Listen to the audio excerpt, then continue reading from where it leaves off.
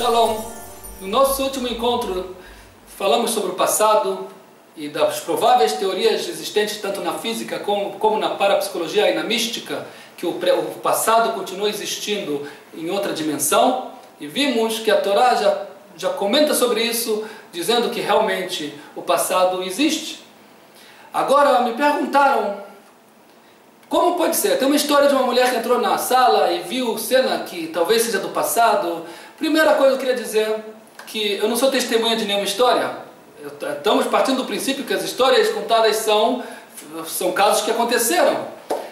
Quem garante que aconteceu? Mas pelo número de casos que chegam, que foram registrados, então realmente deram importância, relevância a esses casos. Porque são muitos casos, são dezenas de milhares de casos parecidos contando situações que provaram que realmente ele captou algo que não tinha como saber do passado. Então eles começaram a considerar como realmente casos e não ilusões e como imaginações. Mas novamente eu queria frisar que eu não sou testemunha de nenhum caso, eu simplesmente trago o que foi registrado pelos pesquisadores. Agora, o que, que leva as pessoas, outra pergunta que me fizeram nesse interim, o que, que leva as pessoas a realmente ter flash do passado ou do futuro? Nós estamos falando agora do passado, depois, em outro encontro, vamos falar do futuro. Mas como, o que, que leva a pessoa a ter um flash do passado? Daqui os pesquisadores também falam, também os místicos e os parapsicólogos, que existe a possibilidade de uma pessoa se conectar ao passado por alguma, com algum estímulo. Pode ser que a música, que, que ela, naquele caso da, que, a, que a mulher ouviu, ou pode ser em cada caso, segundo a sintonia, que ele entra com, algum, com algo que conecta, conecta a espiritualidade dele, a parte psicológica dele, vamos dizer assim, ao passado, e ele se conecta a um passado, inclusive, que não depende dele. Ele pode se, se, se entrar em conexão a um passado que já existiu em outra época, por alguma, com, alguma conexão similar do que ele está vivenciando agora, ele conectou com algo, com uma janela do passado.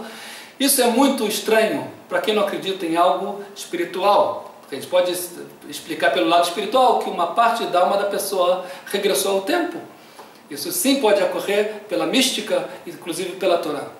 Agora, a pergunta que fizemos no último encontro foi como uma pessoa, se o passado ainda todavia existe, como pode ser que uma pessoa pode se arrepender do que ela fez? Vamos supor, uma pessoa foi feriu o amigo dela e ela está altamente arrependida.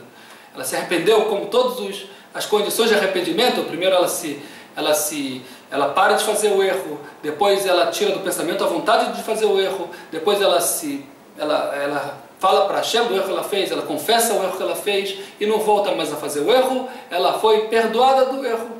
Mas ela feriu a pessoa, o que, que adiantou? Ela mudou o passado? O passado existe, está lá o passado. Como ela pode ser desculpada disso? Ela ofendeu alguém, se arrependeu, mas ela ofendeu já.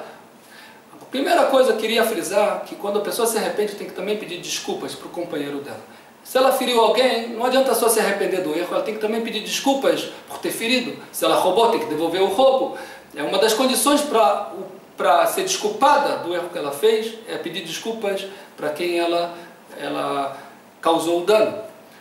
Porém, o passado existe, está lá, o erro dela existe ainda. Como pode ser que ela se arrepende, se desconecta do erro dela?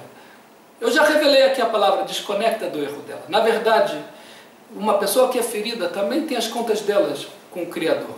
Por que, que, o, o, por que, que Deus deixou a pessoa ser ferida?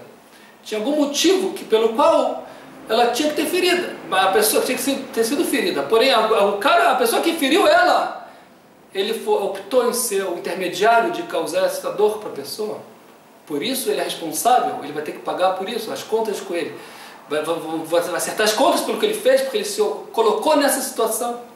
Mas se a pessoa se arrepende com todas as condições, pediu, pediu desculpas, e se a pessoa perdoa ela, e ela ainda pediu desculpa para Deus pelo erro que ela fez, ela simplesmente se desconecta. A, a opção que ela usou, o livre-arbítrio que ela usou para se conectar com essa ação, ela se desconecta dessa ação. Então, a ação aconteceu, mas já não é conectada a ela, essa é a força, a bondade de Deus que nos deu a força de, do arrependimento, de, porque por um lado tem o decreto de Deus que de qualquer maneira teria que acontecer tais acontecimentos, ele deixou a pessoa realizá-lo. Por outro lado, a pessoa pode se desconectar dessa realização e passou a ser simplesmente uma ação natural, como se fosse, se ele perdeu o dinheiro e veio ser roubado. Ele podia ter perdido dinheiro, uma pessoa foi lá e roubou. E ela se arrepende, ela devolve o dinheiro e agora se desconecta com o arrependimento dela, se desconecta da ação de ter roubado. E o roubo passou a ser como se tivesse perdido o dinheiro dela. Então essa é a força, com a bondade de Deus, essa é a força que ele deu para o arrependimento da pessoa poder mudar o passado dessa forma. O passado ainda está lá, mas ele já não tem mais a responsabilidade da ação dele, se desconecta da ação. Tudo de bom.